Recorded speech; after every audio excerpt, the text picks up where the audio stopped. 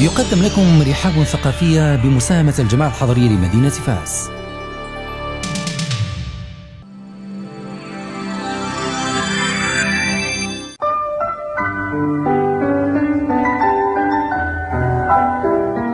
رحاب ثقافية. فضاء الإبداع والحوار. رحاب ثقافية. إطلالة على مشهدنا الثقافي. رحاب ثقافية. إعداد وتقديم جواد الرامي. سيدتي سادتي مستمعينا الكرام أهلا وسهلا بكم في برنامجكم المباشر رحاب ثقافية على أثير محطتكم الإذاعية مفام سيس الإذاعة اللي تستمع لكم 24 ساعة على 24 ساعة إذاعة العائلة المغربية. في ظل التطورات التقنية والمتسارعة أصبح النشر يجد طريقه بيسر على المستوى الرقمي فبعد أن كان الإبداع شديد الصلة بالورق والتوزيع ودور النشر وخلق فضاءات لتصريف المنتوج شكل الإنترنت منافسا حقيقيا وبديلا فرج كرب العديد من المبدعين الذين وجدوا ملاذهم في النشر بمجموعة من المواقع والمنتديات والمجلات الإلكترونية الأمر الذي يجعل خيارات القراءة عديدة والمواقع كثيرة. والأمر الذي يفرض أسئلة كثيرة حول القيمة الإبداعية للمنشور من الإبداعات كيف يمكن اعتماد المنشور إلكترونيا مرجعا إبداعيا للقراءة والتحليل؟ كيف يمكن الاستفادة من هذه المكتبة في مجال البحث العلمي؟ كيف يمكن لم شمل المبدعين والكتاب في مواقع واتحادات؟ دور مراكزنا التربوية في إشعاع الثقافة الإلكترونية؟ كيف يمكن حفظ المنشور من الإبداع من فعل القرصنة دور الجمعيات المهتمة في هذا السياق وغيرها من الأسئلة التي يمكن أن نطرقها في هذا اللقاء الأثري المباشر بحضور ضيوفنا الكرام. مشكورين كل من الأستاذ عزيز بكوش صحفي وإعلامي مراسل جريدة الاتحاد الاشتراكي. ناشط إلكتروني مدير موقع تازا توداي الإلكتروني. نشر العديد من المقالات بمختلف الصحف والجرائد الوطنية والعربية مهتم بالمجال الإعلامي في مختلف تجلياته عضو خلية الاتصال بالأكاديمية الجهوية للتربية والتكوين بجهة فاس بولمان. كذلك يحضر معنا مشكورا الأستاذ عبدو حقي قاص وروائي رئيس لجنة الإنترنت والعلاقات الرقمية باتحاد كتاب الإنترنت العرب مدير ومنسق موقع كتاب الإنترنت المغاربة. صدر له رواية زمن العودة إلى واحة الأسياد وينشر مقالات من مختلف الجرائد المغربية والمجلات العربية. عضو الرابطة المغربية للصحافة الإلكترونية وعضو جمعية إبداع بلادي. أنجز العديد من الملفات الصحفية حول قضايا الإنترنت والنشر الإلكتروني. كان آخرها ملف حول الكتابة أو العربية ورهان الإنترنت.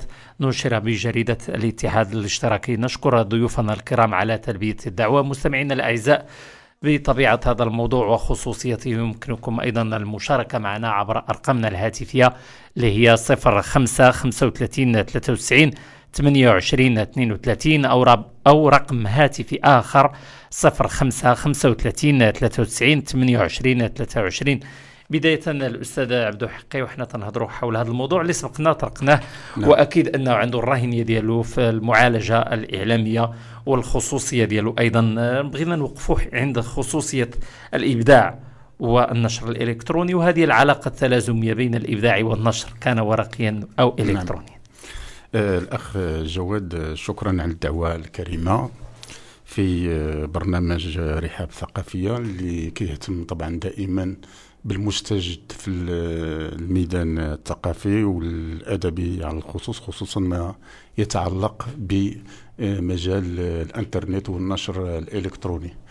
طبعا قبل خمسة عشر سنة لم يكن هذا السؤال مطروحا بالحدة اللي هو مطروح بها اليوم. آه لماذا؟ لأن قبل 15 سنة كان يعني النشر الورقي فرض آه وجوده وكان هو السند الوحيد الذي يطرقه الكتاب والمبدعون آه، بعد الثورة الديجيتال الرقمية ظهرت أسناد جديدة ومنها طبعا السند الإلكتروني واللي عنده علاقة ديال الانتشار ديالو طبعا بهذه الثورة التكنولوجية خصوصا آه، انتشار آه، الوسيط وانتشار الحواسيب وتعددها وتعدد الخدمات ديالها.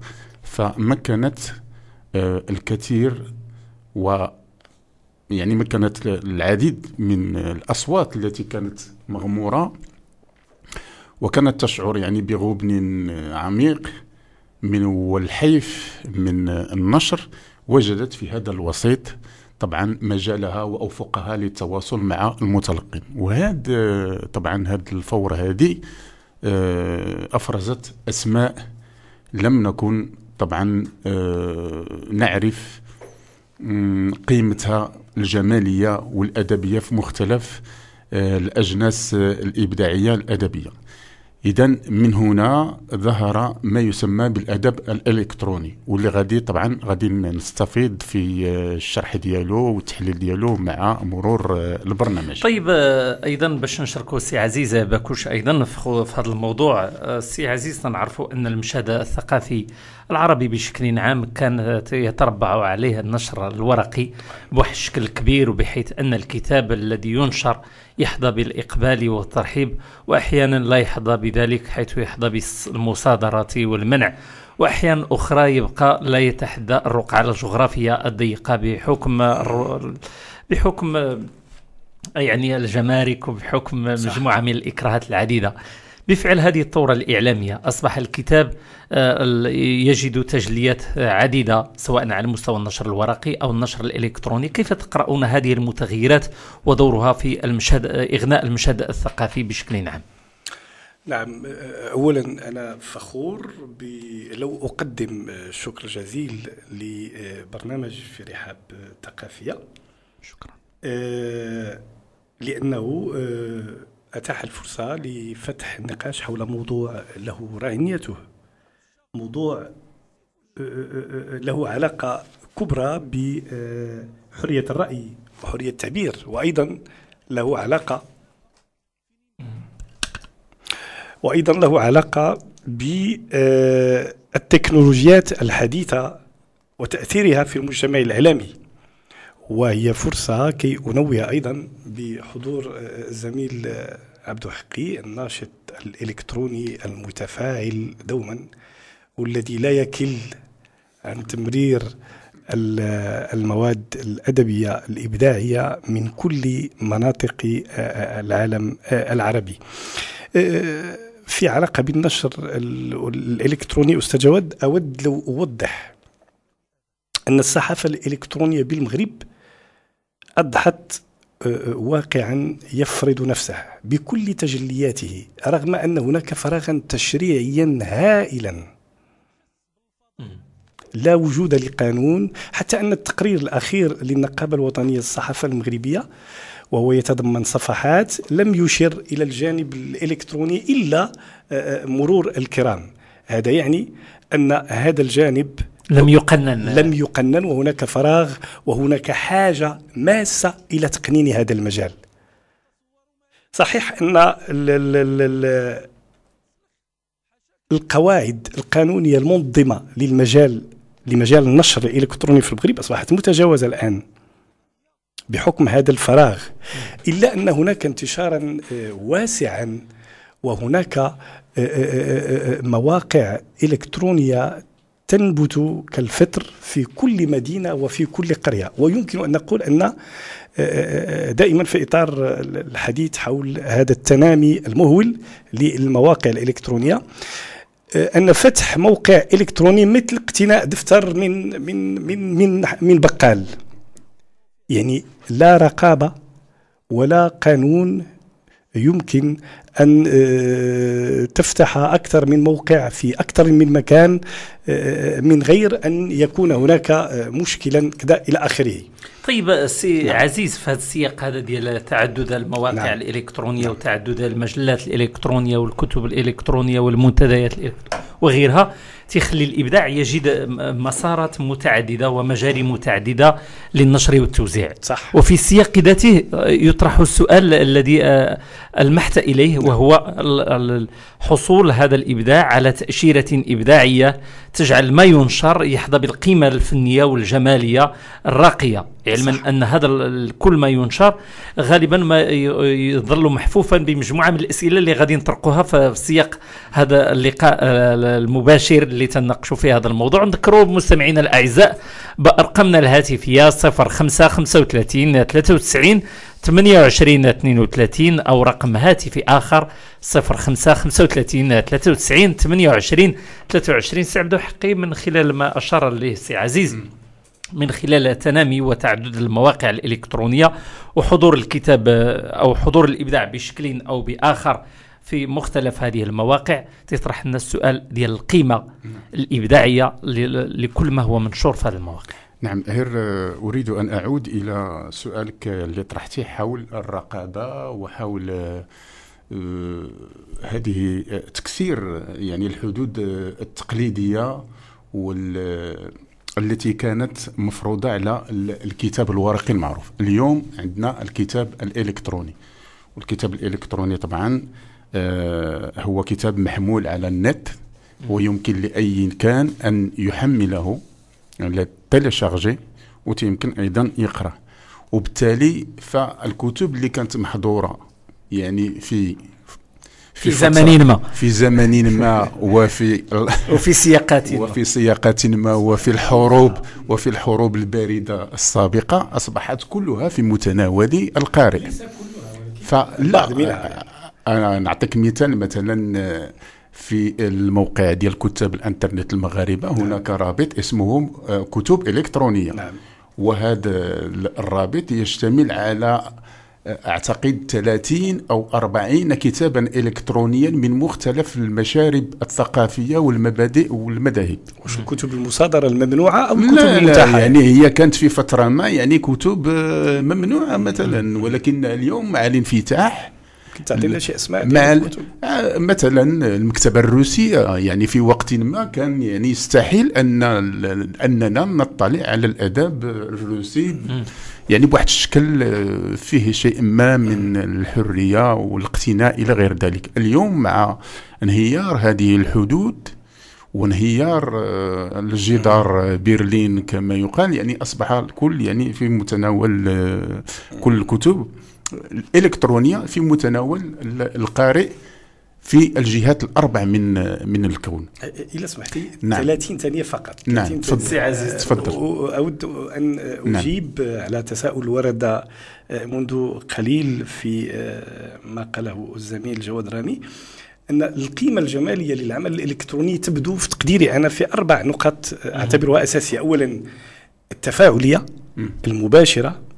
ثانيا المجانية وهذا حافز كبير ومشجع على آه، آه، آه، يعني التوجه إلى هذا نعم. النطاق ثم التجديد على مدار اليوم وأحيانا على مدار نعم. أعتقد هذه من بين النقط الأساسية التي تشكل قيمة مضافة نعم. بالنسبة للقطيعه المفروضه مع نعم. الكتاب لأن الكتاب لا يتيح هذه تفضل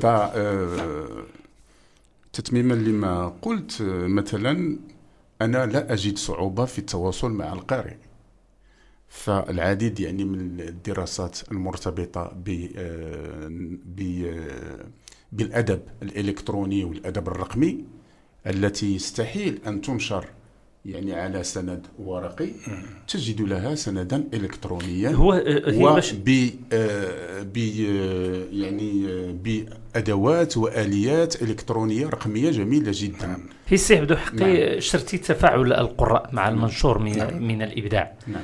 غالبا ما يقرن بالنقرة يعني شي واحد اللي دخل الموقع ويحسب أنه قرأ العمل. وواقع حالي أنه عابر من هنا يعني عابر سبيل قد نسمي يعني هذا التعبير دون ان دون أن يحظى هذا العمل الإبداعي بالمقاربة الفنية التي تقتضي ذلك. خصوصا أننا ملي تنقفوا عند مجموعة من المواقع الإلكترونية اللي تنشر مجموعة من الإبداعات الفكرية. سواء منها الموسوعات أو نعم. الكتب أو المجلات نقف عند أعمال إبداعية منشورة قد تحظى بعدد زوار كثر ولكن عندما نقيمها من حيث قيمتها الإبداعية نجد أقل حظوة وشأنا صحيح. فهل يمكن الإقرار في ضوء هذه المتغ... في ضوء في ضوء هذه الإكراهات في ضوء هذه المستجدات أن العمل الإبداعي المنشور إلكترونيا لا يحظى بالقراءة المتأنية المتفاعلة مع جودة المنتوج انطلاقا من مكوناته الجمالية. نعم صحيح صحيح. آه، آه، هو اولا يجب آه، أن نقر على أن آه، تلك الثقافة التي اكتسبناها من خلال تواصلنا مع السند الورقي ثقافة يعني ترسخت وخلقت يعني في وجداننا نوعا من النوستالجيا لهذا الورق. وبالتالي وبالتالي أصبح آه، كما هي العادة يعني كل مستجد وكل دخيل دائما يعني هو آه، يلقى آه، نوع من من الرد من الرد. نعم واحيانا يكون يعني ردا عنيفا رمزيا ومرفوضا. أعطي مثال أنه هناك نسبة كبيرة من الكتاب المغاربة الذين يرفضون إلى الآن أن يتعاملوا مع النشر الإلكتروني ولا زالوا يترددون على الملاحق هل معرفة الثقافية واش هو جاهل بالجانب الإلكتروني ولا معرفة عن خبرة؟ اولا هؤلاء آه، الكتاب أعتقد أنهم قد رسخوا قنواتهم الاتصالية يعني مع هذه الملاحق الثقافية ووجدوا لهم يعني آه، سبيلهم. نعم سبيلهم للتواصل مع القارئ هذا الأول. وثانيا آه، ثانيا هناك آه، صعوبة أعتقد آه، في آه، في التعرف على المبادئ الأولية للنشر الإلكتروني واللي هي مبادئ اولا تتطلب تقنيات آه، معلوماتية واطلاع على البرمجيات اطلاع أيضا على الثقافة الرقمية بصفة عامة. أقل شيء في هذا هو كيف يمكن مثلا تحرير نص آه، على الوورد. وإدخال يعني جماليات صورة وروابط إلى غير ذلك. فالكثير من الكتب يعني لا زالوا يعني ثقافتهم هزيلة جدا في هذه الثقافة الرقمية هزيلة جدا في هذا الجانب هذا. وبالتالي الأمر يتطلب أعتقد نوع ما أقول نوع ما من من التكوين حتى يمكن أن يتفاعلوا نعم، مع نعم، هذه المتغيرات نعم طيب سي عزيز مقبلة تيشير باغي عنده نعم. هذه نعم. النقطة تفضل سي عزيز باكوش. أعتقد أن ال- الجانب التقني الاخ عبدو آه، لا يشكل عائق يعني بالصورة التي قررتها بدليل أن آه، وهذا نعلمه من خلال أدبيات الإدارة. فالوزراء لا ينتجون خطاباتهم. الوزير لا يكتب خطابه. هناك ديوان وهناك كاتب عام وهناك آه، مستشارون إعلاميون إلى آخره. ال- الانتليجنسيا المغربية ليست يعني ما مفروضش عليها أنها هي اللي تحرر الإلكتروني. هي صاحبة فكرة صاحبة إبداع. أما التقني هو الذي يحرر وهو الذي يضع النص وهو الذي يوضب.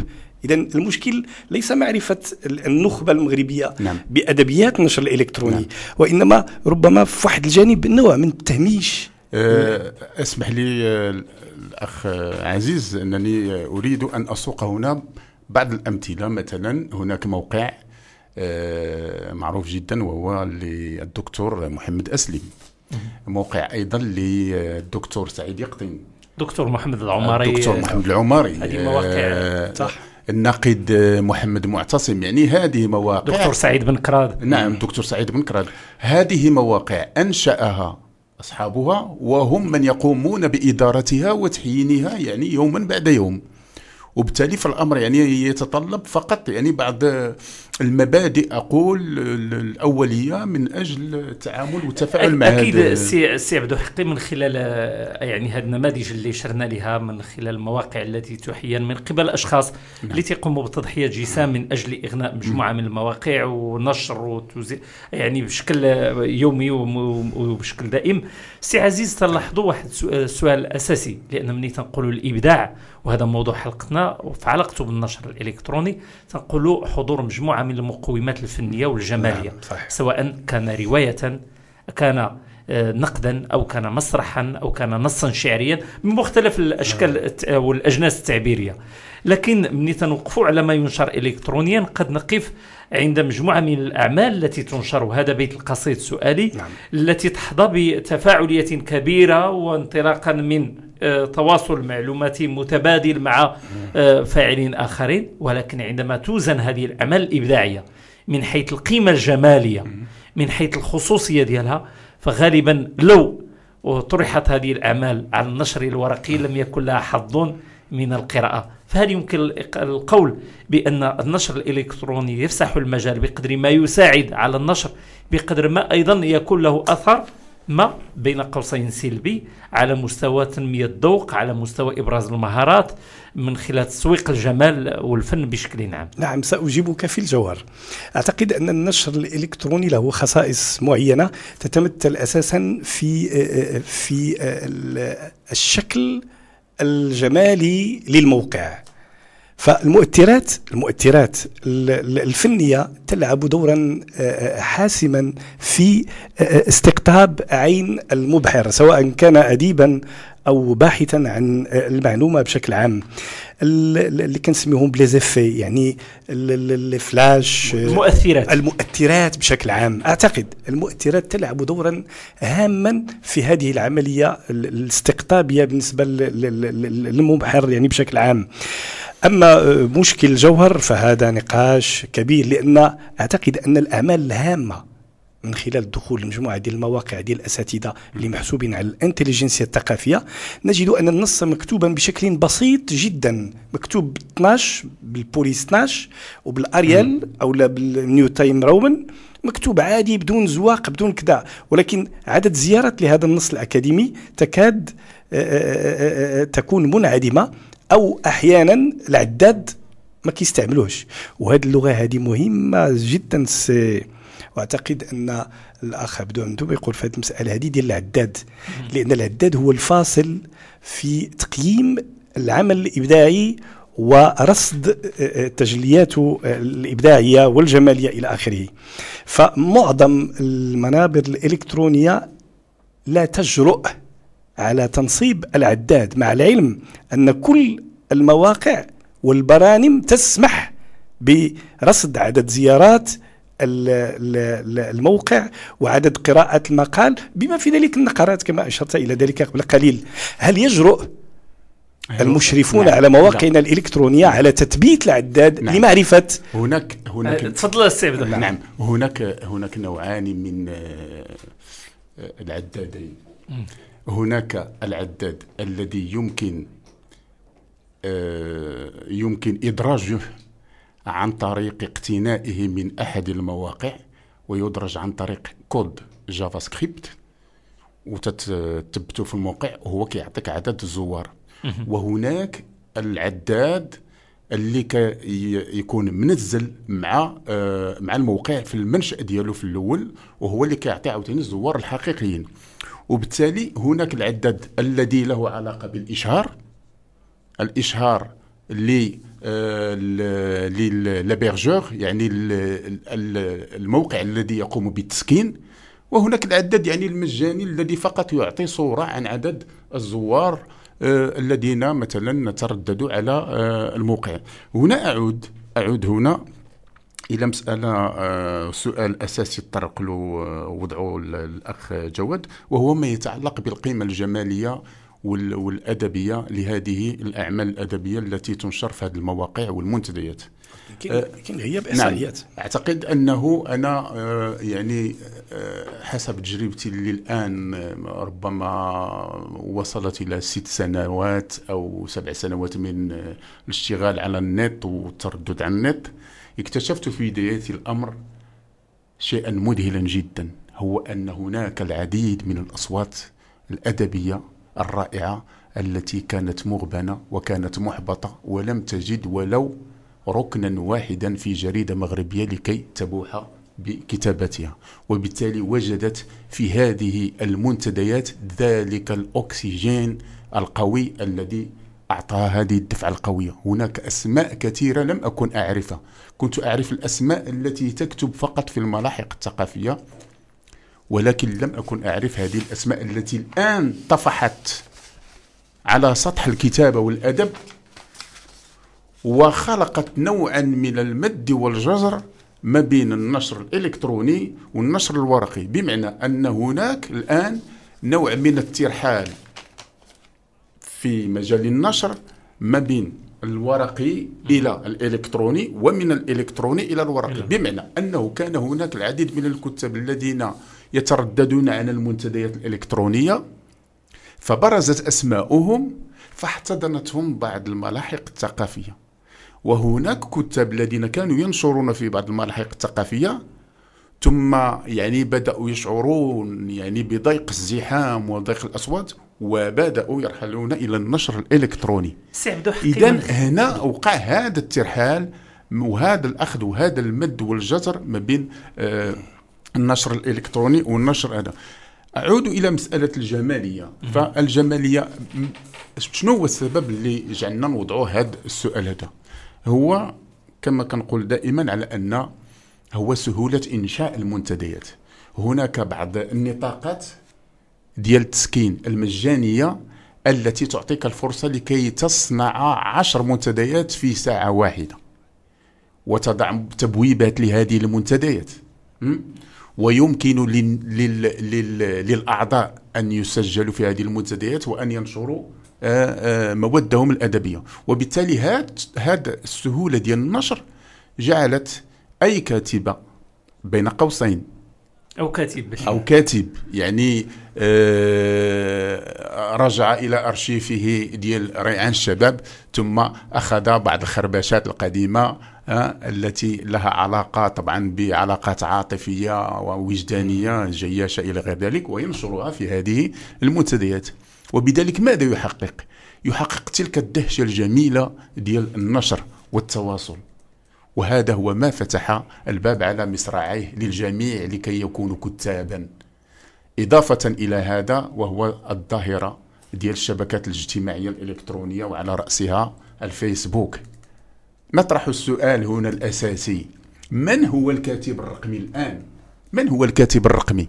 إذا هل الكاتب أو الشخص مثلا الذي يفتح حسابا على الفيس وينشر قصيدة بدون أن تكون له دراية لا بالتراث الشعري العربي ولا بالكتابة الشعرية ولا بالإبداع الشعري ولا بالعروض ولا بالتفعيلة ولا ولا ولا ولا وينشر قصيدة نثرية.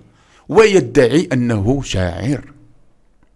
وثم الأكثر من هذا أنه غدا تلقاه معك في أحد المهرجانات الشعرية. طيب هذا هذا النقطة هذا السؤال الأساسي. هذا السؤال الأساسي قد يطرح بحده وبإلحاح لكن عندما نقف عند مشهدنا الثقافي وانطلاقا من قناعتنا بأن الأعمال الإبداعية الراقية تشيد موقعها سواء كان على المستوى نعم. الإلكتروني أو الورقي وتثبت حضورها انطلاقا من خصوصيتها وقدرتها على إنتاج الجمال بشكل عام في هذا السياق وارتباطا بما أثير من أسئلة وباش نتقدموا في محاور نعم. الموضوع ديالنا تنوقفوا عند النشر الورق عند النشر الورقي والنشر الإلكتروني ونأخذوا المغرب نموذجا نعم. تنصبوا أن مجموع في سياق تفعيل النشر الإلكتروني تنصبوا مجموعة ديال المواقع الخاصة لكتاب مغاربة شرنا إلى بعض الأسماء تنصب مواقع لبعض المجلات الإلكترونية أو المجلات الورقية اللي تتحول إلى مجلات إلكترونية. تنصب كتابات الورقية التي تحول إلى في المواقع الإلكترونية لبعض الكتاب إلى كتابات ورقية وبالتالي يقوي حظوة الكتاب بين النشر الورقي والنشر الإلكتروني. هذه المزاوجة وهذا المد والجزر. هل هي قناعة آه، ترسخت لدى الكتاب من أجل تسويق منتجاتهم أم هي الحاجة؟ سي عزيز أعتقد أن آه، آه، في علاقة بالموضوع هناك آه، ترحال غير متكافئ بين الورقي والإلكتروني. ترحال غير مكافئ متكافئ. عندما عندما نتسفح ملحقا ثقافيا وليكن لجريدة وطنية مثلا لها تقليد وترسيخ ثقافي أسبوعي. نجد أن الأسماء التي تكتب هي أسماء غالبا غير معروفة. بمعنى أن محرر صفحة تمكن من السطو عليها انطلاقا من منابر إلكترونية معينة. إذا الترحال هنا غير متكافئ فليس الإلكتروني هو الذي آه، آه، آه، يتماهى على الورقي ولكن الورقي الإلكتروني يفرض نفسه على الورقي هذا هذا مؤشر. لكن لكن النقطة الأساسية في تقديري هناك مفارقة آه، آه، آه، صعبة يجب الإشارة إليها. نحن نتحدث الآن عن التحديات في غياب وجود تأسيس للنشر الإلكتروني. نتحدث عن التحديات وهناك فراغ قانوني وهناك يعني نقص فادح على مستوى التأسيس. نعم. أريد أن أقول فقط على أن المرحلة آه، يعني المرحلة الراهنة التي أشرت إليها اللي تتمايز بهذا المد والجزر ما بين الإلكتروني وما بين الورقي هي علامة على أننا في مرحلة ننتقل سننتقل فيها يعني في العشر سنين المقبلة إلى النشر الإلكتروني فقط وأن النشر الورقي أكيد أنه سيؤول إلى الزوال. وبالتالي فلما تلقوا الجرائد أو المجلات المغربية والعربية لها نسخة ورقية ونسخة إلكترونية. هذا دليل على أنه ليس يعني هذا آه، علامة على أن هناك آه، تواصل. وعي في نشر وعي في النشر هذا ولكن لا. هذه علامة على أننا في مرحلة انتقالية بعد أن كنا مع مرحلة السند الورقي الذي آه، فرض نفسه مدة تقريبا خمسة قرون. الآن نحن ننتقل في مرحلة انتقالية إلى آه، النشر الإلكتروني. طبعا تت هناك سلبيات وهناك خسائر فادحة حدثت في هذه المرحلة الانتقالية ولعل أبرز سماتها وهو تدني المبيعات ديال الصحف وديال المجلات. والأرقام راه تتبين على هذا على أنه الكثير من الجرائد اللي كانت كت تبيع حتى لاكثر من مئة ألف نسخة. اليوم راه كتوصل ل ألف نسخة. هذه يعني آه، الجرائد السيارة المعروفة يعني في, الوطن راه وصلت الآن ل ألف نسخة. هذا دون ذكر طبعا المرجوعات إلى غير ذلك. إذا نحن أمام أمر واقع. علينا أن نقر به وعلينا أن نقبل به وعلينا أن نطرح الأسئلة الأساسية. كيف يمكننا أن نتكيف ونكيف هذه البيئة الورقية مع البيئة الإلكترونية. هي هو السؤال السي عبد الحقي لا يرتبط بواقعنا فحسب ولكن تنصب تقليد الآن حتى في المجتمعات الأوروبية بحيث أن الجريدة تكون ورقية وفي الآن نفسه هي رقمية. لا ولكن نعم. أنا أريد أن أضيف هنا يعني بما أنك الأخ جواد ذكرتي يعني أوروبا وأوروبا طبعا الغرب يعني سباق طبعا إلى هذا المجال. وإحنا مجرد يعني مستهلكين نقولها بكل صراحة. طبعا المغرب الحمد لله يعني كاين واحد كاين واحد الحركية وكاين واحد طفرة إلكترونية وتكنولوجيا هذا. ولكن آه، أعتقد أن في الغرب وخصوصا في فرنسا أن العديد من المنابر الإعلامية السيارة والمعروفة تؤدي الثمن اليوم ديال النشر الإلكتروني ولعل المثال الصارخ هنا هو مجلة لوموند التي قامت بإغلاق العديد من المكاتب ديالها في العالم بسبب النشر الإلكتروني وجريدة لوموند التي كانت على شفا حفرة من الانهيار بصفة لولا تم احتضانها من أحد المعلنين وتم اعتماد طريقة تقنية من آه، من أجل استرداد آه، العديد من العائدات ديال الأموال باش تبقى طبعا الجريدة واقفة. هي هو باش ليتم فعل تأسيس النشر الإلكتروني يحتاج إلى تقليد ثقافي أيضا. آه، تغنيه المؤسسات التربوية م. وتغنيه المؤسسات اللي تترعى الثقافة. فبالتالي السؤال الأساسي قد يطرح تفرض علينا بحكم الفضول نطلع على المواقع ديال بعض الوزارات المحسوبة يعني الوصية.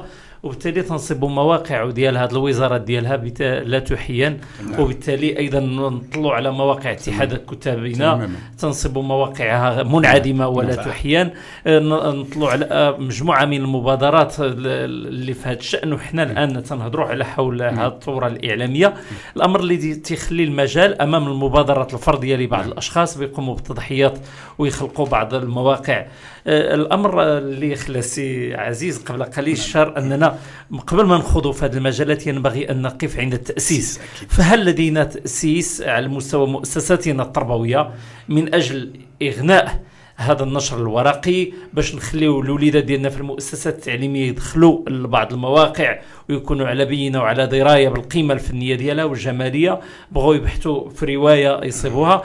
آه وهذه النقطة هذه ذكرتني أن مثلا يمكن من باب الاستئناس ندخلوا موقع اتحاد كتاب العرب في سوريا مثلا وتنصبوا مجموعة من الإبداعات للكتاب. يمكن دخل نافذة الطفل وتعثر على المئات نعم. من الأعمال القصصية للأطفال.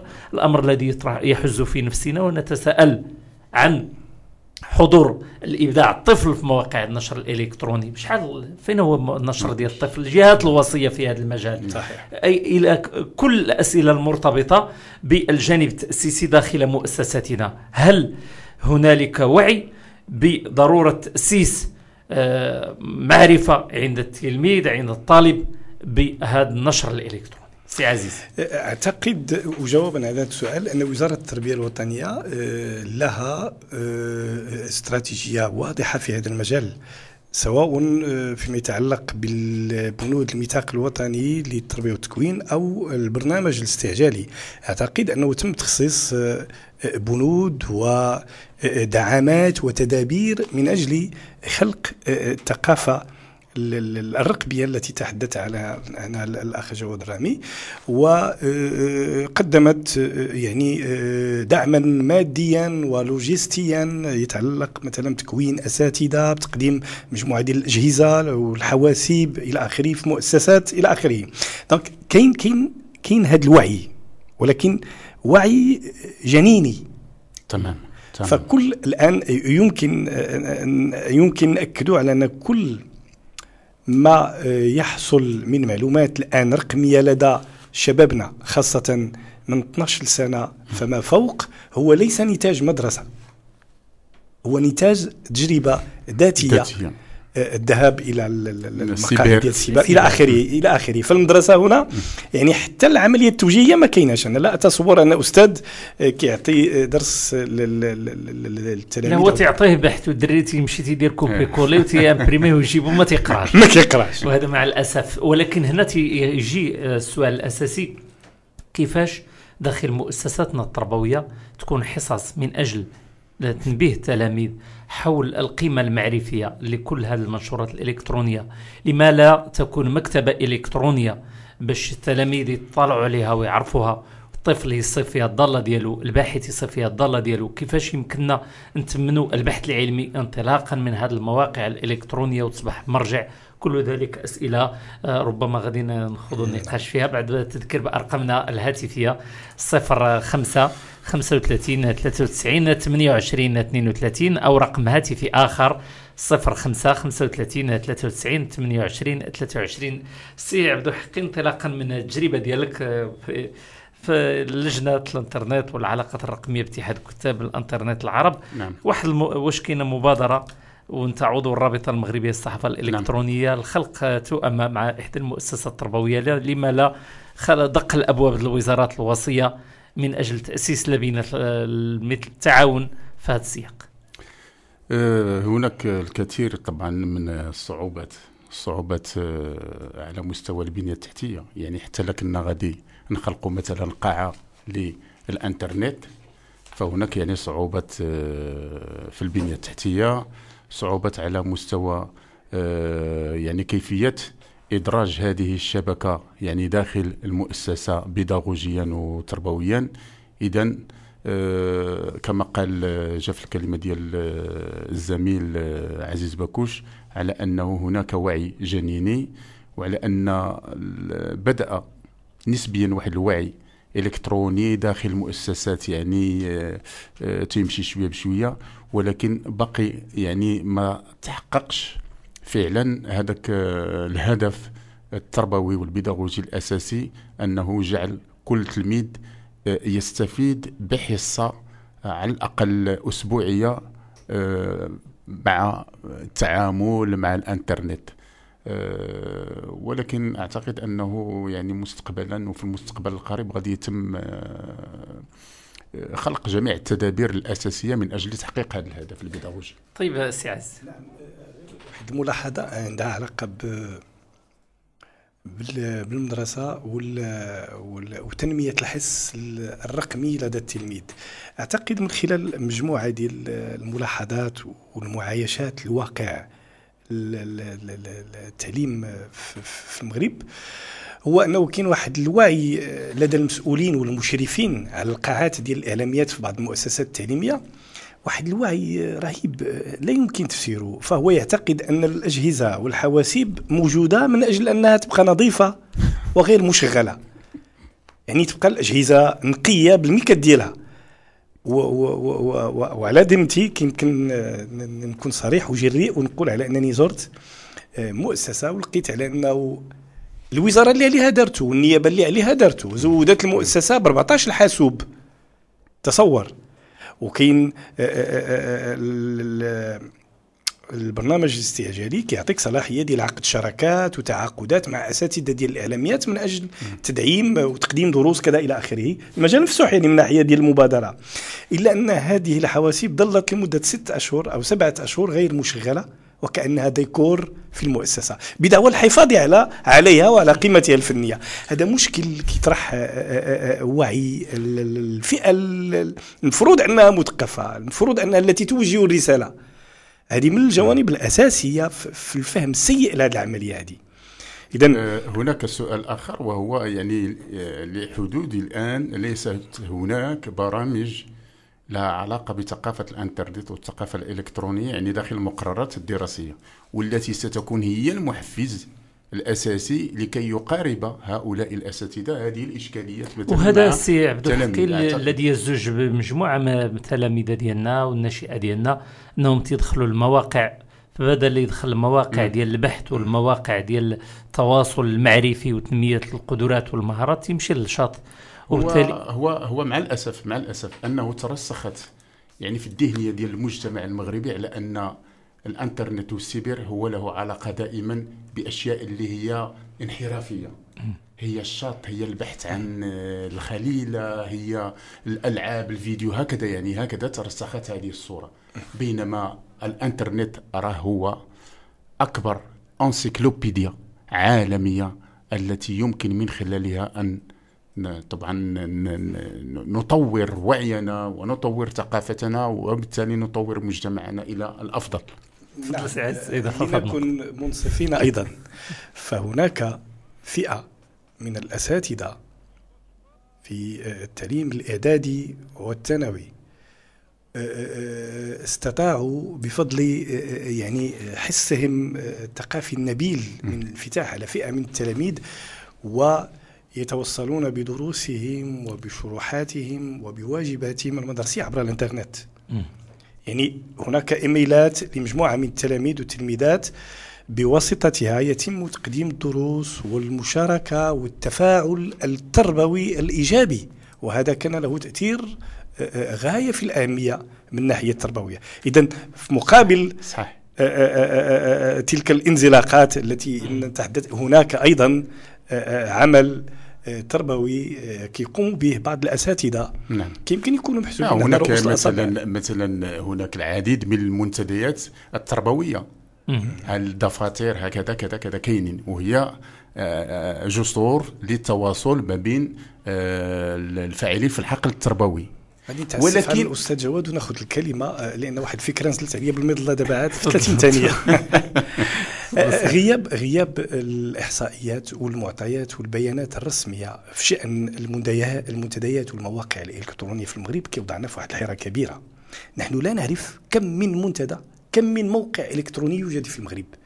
فالتجربه اللي قمت بها البارح مثلا من خلال محرك البحث ديال سياقات التداول في في الإنترنت اللي هو أليكسا وسي جواد على عين بالتجربه محرك البحث بمجرد ما كتوضع له فيه الاسم ديال المنتدى أو الجريدة أو الموقع كيعطيك الترتيب ديالو على المستوى الوطني وعلى المستوى الدولي. بشكل واضح وملموس.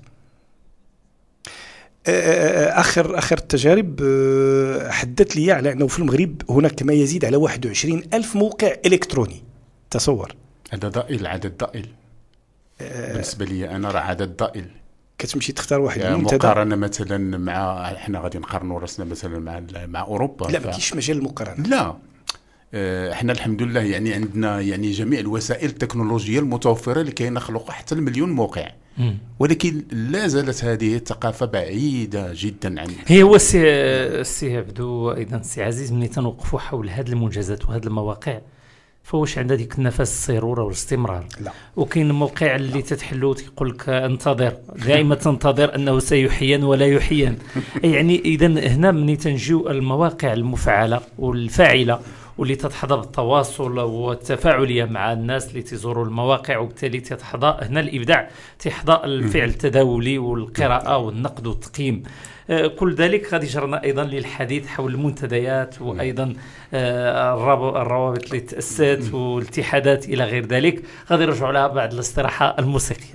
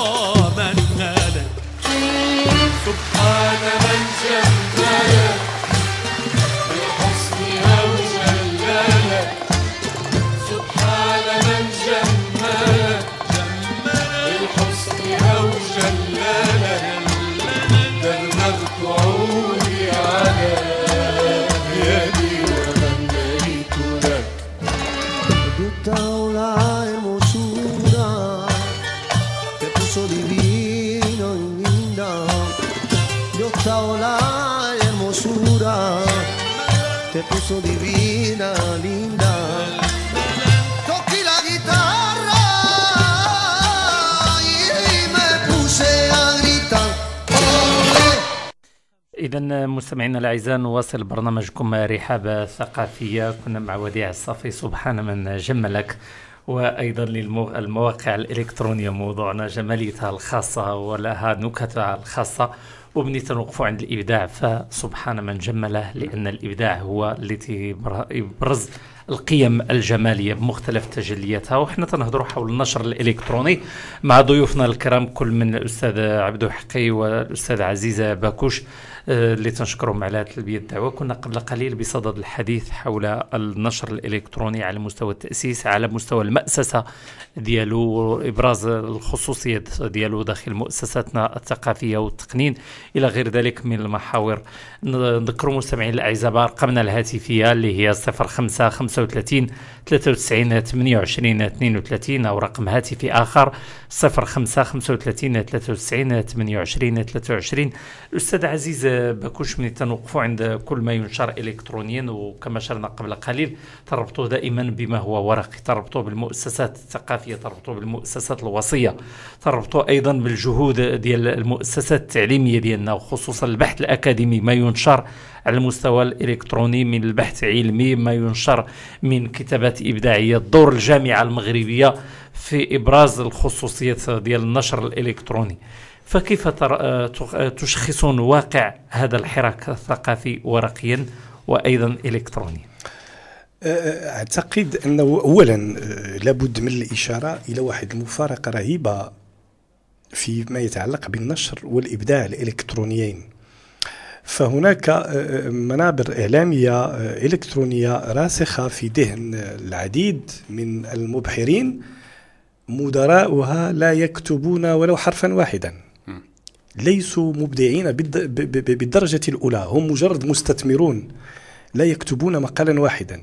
وفي بالك آه، موقع إلكتروني نعم موقع إلكتروني آه، آه، شهير صاحبه ومديره لم يكتب في حياته ولو مقالا واحدا. هو مستثمر آه، استثمر في المجال الإلكتروني وتمكن من آه، آه، آه، آه،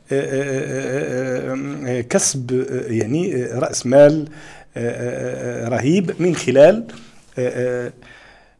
من خلال يعني استقطاب عدد كبير من الكتاب والصحفيين المغاربة. آه، بالعودة إلى سؤالك فيما يتعلق بالحراك الثقافي الإلكتروني صحيح آه، لا يمكن الآن أن آه، ترسم اسما لجامعة مغربية في جوجل من غير أن تعثر لها على موقع. فيمكن الجزم أنه الكثير من المؤسسات ال- ال- الجامعية سواء معاهد أو آه، آه، آه، مؤسسات إلى آخره فالكل أصبح يتباهى بوجود موقع وبوجود رابط وفرق فنية للصيانة وإلى آخره. لكن المشكل هنا كيف كما أشرت قبل قليل إلى التحديث تحيين التحيين نعم. فأغلب المواقع آه، نتيجة للتكاليف الباهظة أحيانا وهذه أمور لا يعرفها المبتدئون. فالموقع قد يكلف بعد سنتين أو ثلاثة قد يكلف حتى ال 5000 درهم. والمبحر أو ال- الهاوي الإلكتروني لا يستطيع دفع 5000 درهم. donc هناك مشكل حقيقي سيطرح في ال في ال في السنوات القليلة القادمة وهذا آه، ينفي أو على الأقل آه، يناقض ما ذهب إليه الزميل عبدو حقي كون أن الجانب الإلكتروني سي سي سيتفوق على حساب الورقي. لل لل للنشر الإلكتروني أيضا مشكلاته فهو مكلف من الناحية المادية أيضا. مكلف و و والمواقع التي أشرت إليها والتي ذكرت بأنها مثلا فاشلة أو فشلت على المستوى الورقي وتحولت إلى الإلكتروني.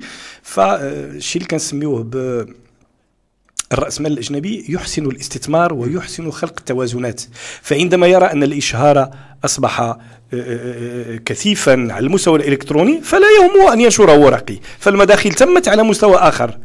لذلك نلاحظ أن مثلا قلة النشر على المستوى الورقي يوازيها ارتفاع الزيارات على المستوى الإلكتروني. وبالنسبة للمواقع آه، المحترفة والاحترافية فهي تتقاضى أجرا كما نعلم حول عدد الزيارات وحول عدد ال- النقرات. إذا جواد يمكن القول آه، هناك حراكا آه، سياسيا ملموسا في المغرب على مستوى تأسيس آه، عدد آه، غير محدود من المواقع للجامعات والمؤسسات التعليمية وكذا إلى آخره. ولكن لا يوازيها ذلك الحس الإبداعي ال- ال- الفني آه، وذلك هي هو هذا السياق هذا. وحنا تنهضروا حول نشر الإبداع ودور الجامعة في البحث العلمي.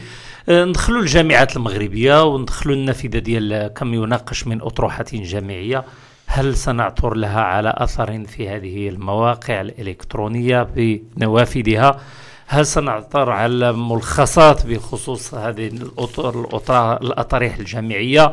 هل هنالك سنعثر على آه، مقالات فكرية للباحثين الأساتذة الجامعيين اللي هما فروض فيهم البحث العلمي. كل ذلك تخلينا نطرحوا أسئلة حول هذا النشر الإلكتروني وعي الفاعلين داخل مؤسساتنا التعليمية بالنشر الورقي آه، بالنشر الإلكتروني. السي عبد الحقي أنا أنا تنعتقد على أن هذه المواقع الإلكترونية التابعة للجامعات المغربية هي مواقع أسست أساسا للإخبار والإعلانات. تماما.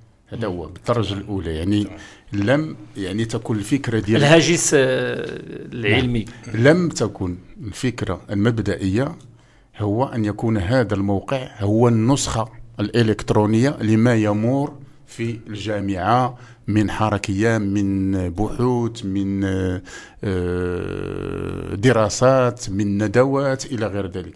إذا أنا دخلت لبعض المواقع الإلكترونية ووجدت فقط هناك إعلانات وهناك إخبار ب اجتماع أو كذا أو آه، لقاء عنده علاقة ب- بشأن إداري أو شأن طلابي هذا هو ال- بالأساس. ولكن لم يرقى أو لم ترقى هذه المواقع إلى أن تكون بالفعل يعني أسناد آه، إلكترونية من أجل إغناء وإثراء الفضاء الجامعي على المستوى المعرفي والمستوى ال- ال- الفكري. طيب نستقبلوا مكالمة هاتفية ثم نواصل. ألو السلام عليكم. ألو السلام عليكم. أهلا سي عبد الإله الوزاني مرحبا. هذا التباس هذا بسيط جدا. مرحبا سي عبد الإله شكرا. تفضل. الضيف الأخير آه، الاخوان أنا من نفس الهيئة ديالو. طبعا نعرف راهم فهموني. تفضل سي عبد الإله بالنسبة ل أنا كنقول بأن هذا الإلكتروني اللي كاين بالنسبة للورق يقولوا يوضحوا لنا واش زعما كاين كتاب كاين يعني كتاب كاين روائيين كاين شعراء كاين واش هو كيفاش يشوفوا الدراما بين الورقي والإلكتروني. السلام عليكم كاين اوطين شكرا سي عبد الإله الوزني. تشكرك ونذكر المستمعين الأعزاء بأرقامنا الهاتفية 05 35 93 28 32 أو رقم هاتفي آخر 05 35 93 28 23 أكيد من خلال سؤال سي عبد الإله الوزني. تطار هذه المفارقة يعني كيفاش الورقي ينظر إلى النشر الإلكتروني وكيف ينظر كل ينظر من نافذته الخاصة؟ نعم نعم. آه، في الواقع آه، ليس كل من نشر أو آه، قصة في منبر إلكتروني يعتبر مبدعا. كذلك كل من نشر عملا إبداعيا ورقيا ليس بالضرورة مبدعا. فهناك آه، مفارقات آه، غاية في الأهمية. يتحكم فيها الجانب أحيانا الجانب الأيديولوجي. آه تماما فيمكن أن تتحدث عن الحراك السياسي السوري مثلا ال- التونسي بلغة آه، هي تعود إلى السبعينات وتكون مقبولة لدى شريحة واسعة من القراء.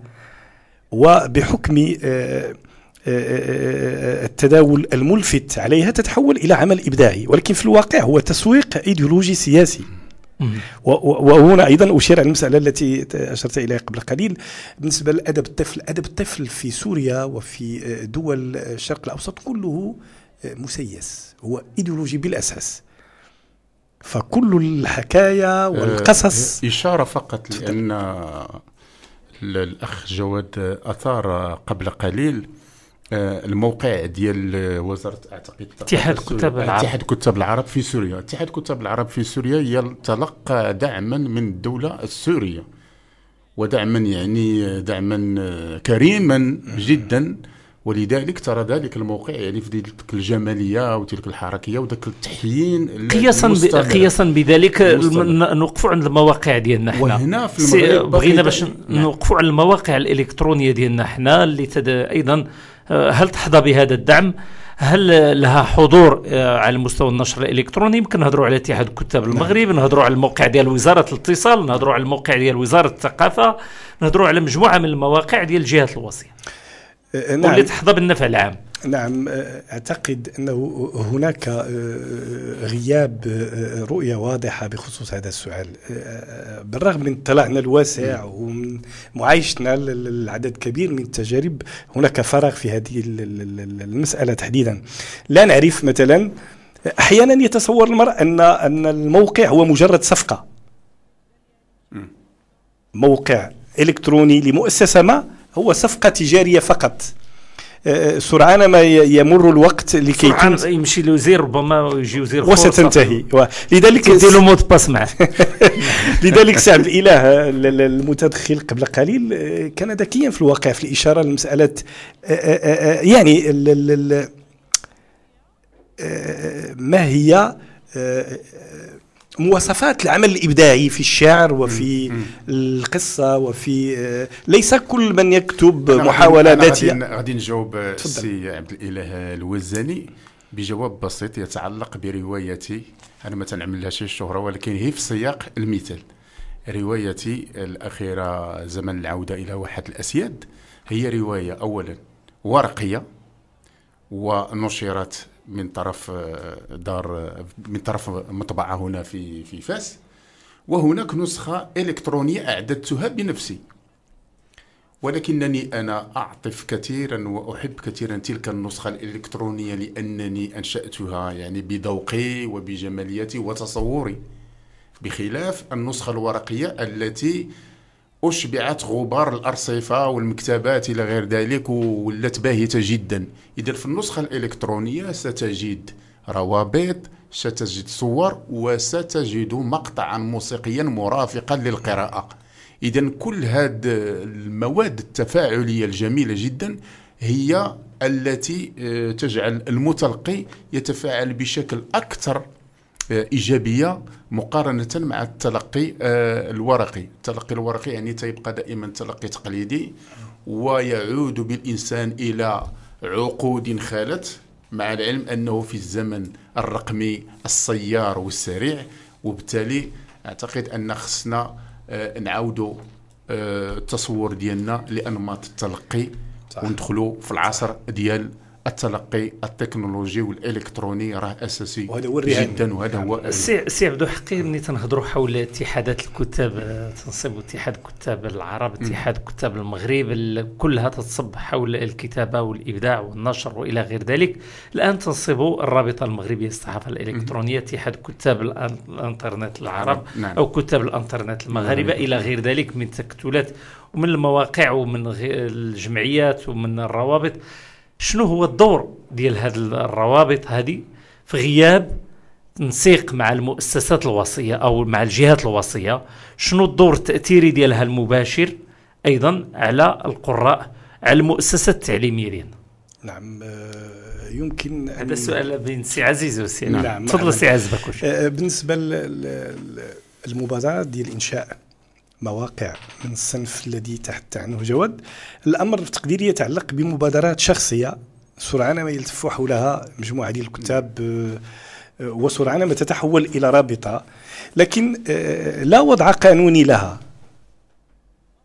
فوزارة الاتصال لا تعترف برابطة اتصال آه، ب ب الرابطه رابطة الإلكترونية نعم. للصحافه إلى آخره. صحيح أنها هيئة مسؤولة وربما عندها قانون أساسي. نعم. ولكن نعم. آه، هي آه، لا تتوفر على الشرعية. كيف نفسر هذا الفراغ؟ هذا هو الغياب القانوني في المسألة وهذا هو وهذه هي الحاجة. وأعتقد أن هذا البرنامج يذهب في هذا الاتجاه فهو يدفع في أفق المأسسة وتأسيس هذا ال- أو ملء هذا الفراغ هذا الفراغ اسمح لي هذا الفراغ هو يأتي أساسا من عدم الرغبة في الاعتراف بالنشر الإلكتروني لأنه يهدد بالدرجة الأولى بنية النشر الورقي واللي هي بنية عريقة وبنية يعني أساسية في التنمية الاقتصادية. مع العلم أنه يجب الا نغفل على أن النشر الإلكتروني هذا قد يدهش الكثير على أنه يساهم يساهم كثيرا في الحفاظ على البيئة. النشر الإلكتروني شوفوا بزاويه أخرى. النشر الإلكتروني يحافظ على البيئة. لماذا؟ لأن اولا لا نهدر الغابه من أجل صنع الورق لأن كنعرفوا على أن الورق يصنع من الخشب أيضا أه؟ و الورق ويقدر يدير عوينات. ولكن الورق هو لطباعة ما و- تنصب إلكترونيا. لا سي عبدو حقي يقدر نعم. هذاك يمشي له العوين آه، وتكون الخسارة أفدح. لا. لا هو في نعم. النهاية الورق لا آه، يمكن الاستغناء ثم عنه. ما, ما, ما ننساوش على أن أيضا الورق يلوث طيب، سي وكذا. حقي من خل- وبالتالي يعني تيبقى النشر آه، أكيد عنده الوقع عنده ديالو. الوقع التأثيري ديالو. إلا كنت كتقرأ واحد النص وأنت يعني مرفق بسمفونية جميلة جدا. راه هذا شيء جميل وشيء جديد. ربما أن تقرأ بالسمع سيكون آه، إلا كنت تتحفظ.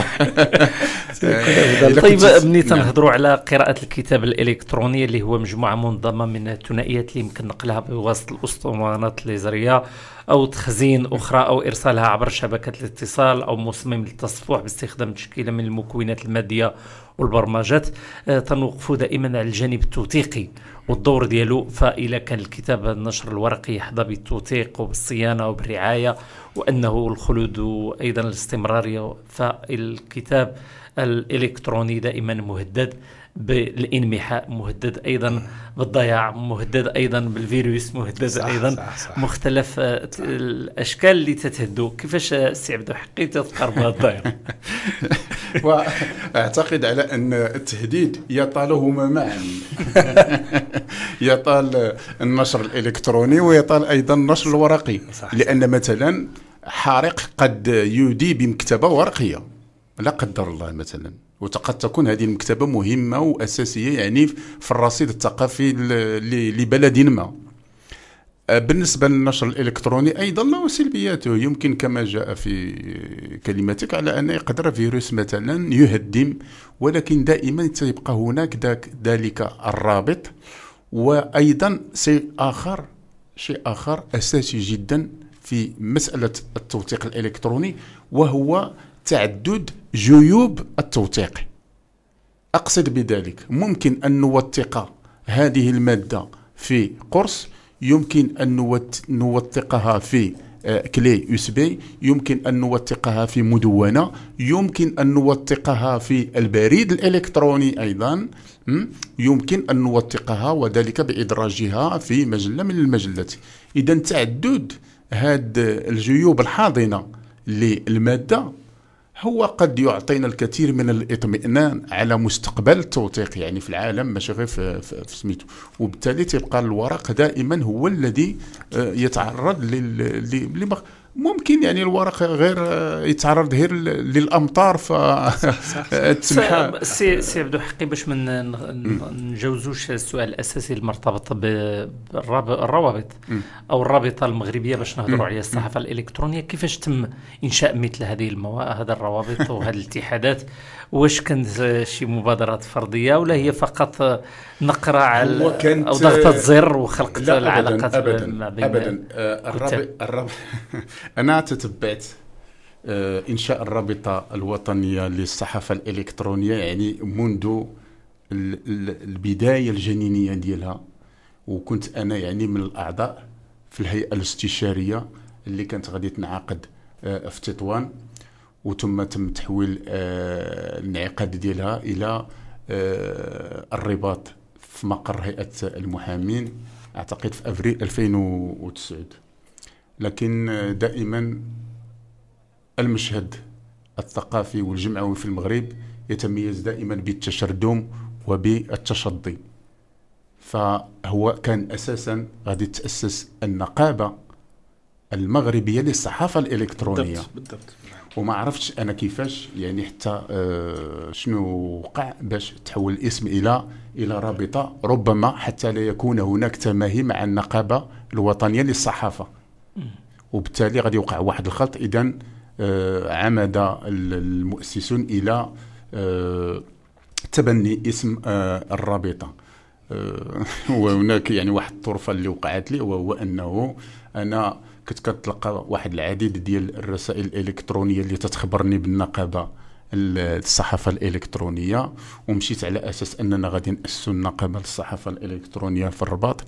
فلما سألت على السيد اللي كان تيتواصل معايا قالوا لي هذوك راهما تيأسوا الإطار ديالهم في قلعة السرغنه وحنا كنأسوا هنايا في الرباط. إذا بالتالي كيبان على أنه التجاذبات والمصالح والتشظي وهذا الأشياء هذه كلها لن تخدم لن تخدم قضايانا الإعلامية في المغرب اللي حنا المغرب بلدنا راه في هذه المرحلة هذه في حاجة لنا طبعا.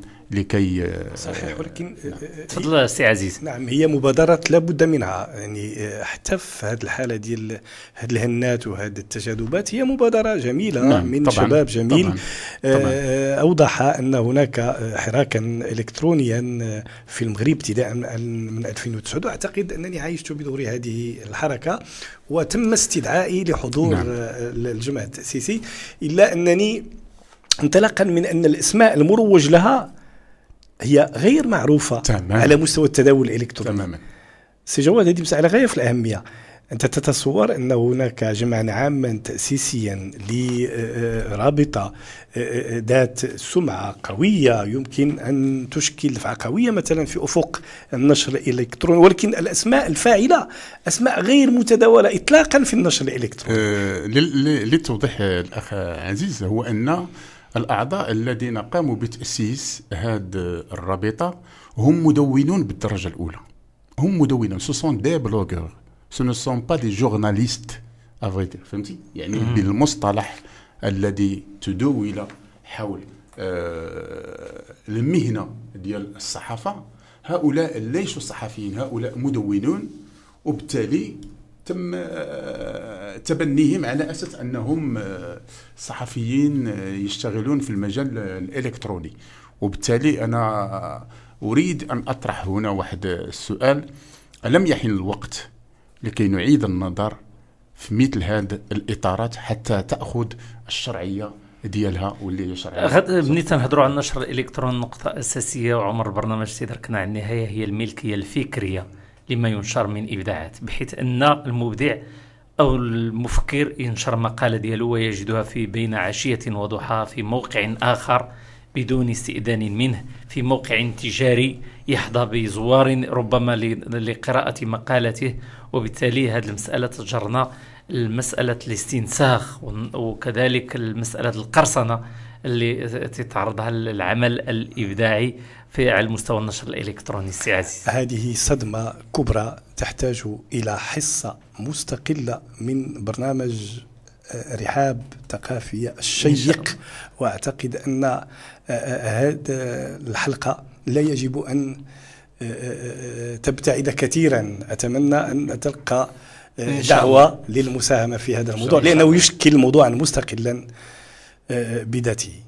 هذا الموضوع كنا ناقشناه يعني سي بدعوة نعم. هذا الموضوع كنا ناقشناه بدعوة كريمة من إذاعة آه، طنجة. آه، التي تفرد برنامجا عنوانه طنجانيت وهو يعني برنامج آه، يهتم أساسا بكل المستجدات في مجال الإنترنت. وللإشارة أن يعني الزميل خالد شطيبات وجه لي الدعوة مشكورا مع آه، الأستاذ عبد الله الودغيري اللي هو آه، مدير آه، مكتب الحقوق والحقوق المجاورة أعتقد. لكن كنا كنتمناو يحضر باش يفيدنا في المجال القانوني والمجال لكن تفضل. الوقت ضيق. لكنه لم على كل حال على كل حال. قبيلة وقبل ما نبداو البرنامج كنت كنتصفح الجرائد ف الجديد و- وهذا هو أنه لقيت على أن هذه الحدود الفاصلة الإسمنتية التي كانت تفصل ما بين آه، وسائل النشر ما بقاتش. ولينا كنلقاو مادة في الموقع عندي وتلقاها في جريدة وطنية. وبالتالي يعني رحنا ولينا يعني تقريبا في المستوى ديال الإعلامي والتواصل آه حقيقي نفس- كمبدع كمبدع وك ألا يحز في نفسك وقد نشرت مقالا باش نوضحوا السؤال نعم. بشكل واضح نعم. مقالا فكريا في منبر ثقافي متخصص وتجده في منتدى لا صلة له بالموقع فقط لكي يستقطب زوارا فكيف كيفاش تشعر؟ آه أنا غير ما لقاش المقال ديالي مسروق ومكتوب باسم آخر وغير وهل حصل الأمر؟ أه؟ نعم حصل. اذا هذا هو بيت. الحصيد في سؤالي. حصل الأمر أنني ضبطت أحد الكتاب التونسيين أحد الكتاب التونسيين نشر آه مقال ديالي بالاسم ديالو. آه عفوا ماشي تونسيين جزائري. واتصلت به وعاتبته كثيرا ولمته كثيرا فاعتذر لي. قلت له يا سيدي بلد مثل الجزائر اللي فيه روائي الطهر والطار إلى غير ذلك وفيه بوجدرا وفيه فلان وفلان فلان لا يمكن أن يكون فيه لصوص ديال الإنترنت بحال قلت. هاد- فاعتذر على كل حال ثم قام بإلغاء هذه- الحالة ديال النشر. وأيضا سنوقفوا عند نقطة آه، النشر في علاقته بالملكية الفكرية وبتوزيع فتنهضروا أيضا على الاستنساخ بحيث أن النشر الإلكتروني تيزداد بواحد السرعة كبيرة وتسمح بتوزيع المعلومات ونشرها بكلفه بسيطه وهنا تنصبوا بزاف ديال الناس تيلجؤوا العملية ديال الاستنس- يدير ينسخ coller. copier coller ويخرجوا imprimer ويخرج المقال ديال اللي عجبو ويتصرف فيه بالشكل اللي عجبو وبالتالي هنا تنطرحوا مسألة ديال ال- الملكية الفكرية وأيضا الأخلاقيات ديال القراءة اللي مقرونة الصلة بالنشر الإلكتروني. آه،. نعم. آه، في الواقع مم، هذه آه، آفة آه، منتشرة بشكل آه، كبير آه، على مستوى النشر الإلكتروني في العالم العربي. ليس في المغرب وحده ولكن في العالم العربي. فالكثير من المواقع تستنسخ آه، مقالات من مواقع أخرى وأحيانا يتم نشرها من غير توقيع صاحبها. شخصيا صادفت العشرات من هذه ال- الحالات وأكتفي فقط بكتابة تعليق في خانة التعليقات وأوقعه باسمي وأفاجأ أن هناك ردا وهناك اعتذارا وهذا آه، آه، كيطفي في العمق ديك اللهيب ديال الاحتقار وديك اللهيب ديال الإحباط وديك اليأس. اذا في غياب تقنين وهذا اللي شرتي لي أستاذ جواد قبيلة في غياب تأسيس آه، قانون ومجال آه، إلكتروني في الواقع العربي سيظل الحال على ما هو. و سي عبد الحقي نعطيك كلمة أخيرة لأن عمر البرنامج درك النهايه ديالو كلمة أخيرة. غير كنعاود نقول مرة أخرى. أنا وجدت أحد مقالاتي مترجم إلى اللغة الكردستانية. شنو غادي ندير مع هذاك اللي سرقوا في كتب له بالكردستاني. طيب سي عبده حقي آه، إذا هذا عالم مثير ومدهش أكيد، جدا. أكيد. ومغري وم- ومغري. ومثير للعديد نعم. من الأسئلة عمر البرنامج وصل النهايه ديالو تنشكروا ضيوفنا الكرام كل من السي عبده حقي قاص وروائي رئيس لجنة الإنترنت والعلاقات الرقمية باتحاد كتاب الإنترنت العرب مدير منسق موقع كتاب الانترنت المغاربة صدر له رواية زمن العودة إلى واحة الأسياد ينشر مقالاته بمختلف الجرائد المغربية والمجلات العربية. عضو الرابطة المغربية للصحافة الإلكترونية عضو جمعية إبداع بلادي أنجز العديد من الملفات الصحفيه حول قضايا الانترنت والنشر الإلكتروني. كذلك الشكر العزيز آه، الجزيل السي عزيز باكوش وهو عزيز صحفي وإعلامي مراسل جريدة الاتحاد الاشتراكي النشيط الإلكتروني مدير موقع تازا توداي الإلكتروني. نشر العديد من المقالات بمختلف الصحف والجرائد الوطنية والعربية مهتم بالمجال الإعلامي في مختلف تجلياته. عضو خلية الاتصال بالأكاديمية الجهويه للتربية والتكوين جهه فاس بولمان. كذلك الشكر الجزيل لكل مستمعي الأعزاء اللي اتصلوا بنا وكانوا في الاستماع وكذا الشكر الجزيل لعبد العزيز كرومي في الهندسة الصوتية وفي الأخير. هذا جواد الرمي يحييكم من الإذاعة لتستمع لكم وإلى اللقاء.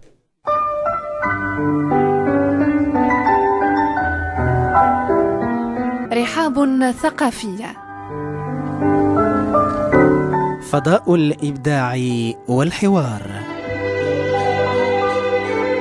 رحاب ثقافية. إطلالة على مشهدنا الثقافي. رحاب ثقافية. إعداد وتقديم جواد الرامي.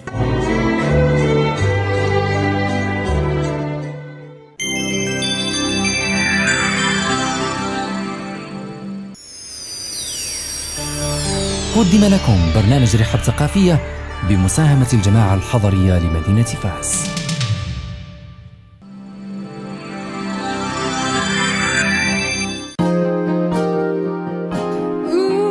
MFM Saiss الإذاعة اللي كتستمع لكم 24 ساعة على 24